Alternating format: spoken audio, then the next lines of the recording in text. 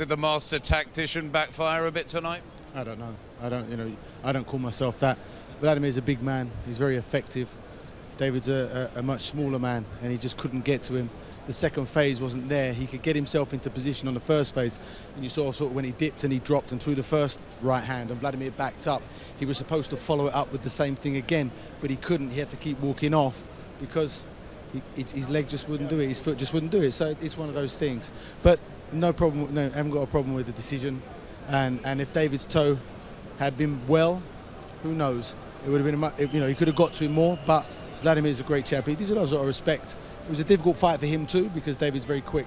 But he proved that he has the ability to concentrate for 12 rounds and, and, pick up the points. We're just disappointed. It's, it's a hard sport. Like he said, he's plagued with injuries. He had the back injuries. He's had, he's had so many problems throughout his career with injuries.